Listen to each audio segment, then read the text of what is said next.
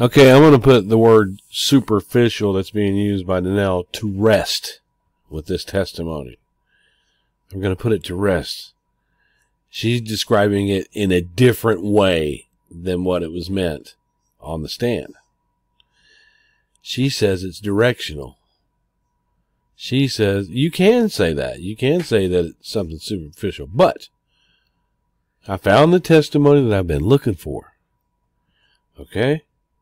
About, well, what if the jurors hear that? Okay? I found the testimony that I was looking for, which, that the doctors that were there, what they meant by superficial. The wound. And I'm going to be done with it because I don't like somebody telling me first they first they didn't say that and then they meant directional and then blah blah blah and people tell me yeah, I was talking to somebody earlier today. She, yeah, she described it as superficial and she's a nurse. She described it as directional and she's a nurse. Okay. Check this out. The question. This is being asked by the defense.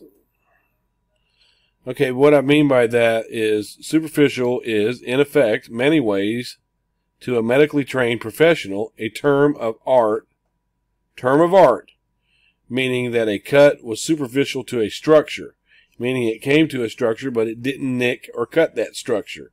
Is that correct? This is the way Danelle explained that word and what it meant. That is the, the direction where it's at next to a structure, right? This is the way that she went on her TikTok and explained it. So I'm gonna read this again. Okay, what I mean by what I mean by that is superficial is, in effect, many ways, to a medically trained professional, a term of art meaning that a cut was superficial to a structure on top of next to, meaning it came to a structure but it didn't nick or cut the structure. Is that right? The doctor says, Did you say term of art? well, it's a medical term in some respects. In some respects. In some respects. When you say, Is it not true? Doctor, when you say it's superficial to the platysma or superficial to the carotid sheath, that it nicked it and didn't totally obstruct it? That's a different use of the word. Coming from a doctor that was there with Darlie. That's a different use of the word, superficial. When you describe a superficial wound, it means that it is superficial and not deep a minor wound.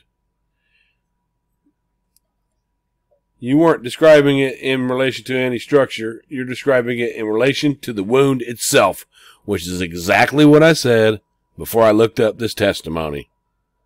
Misinformation is what's being spread.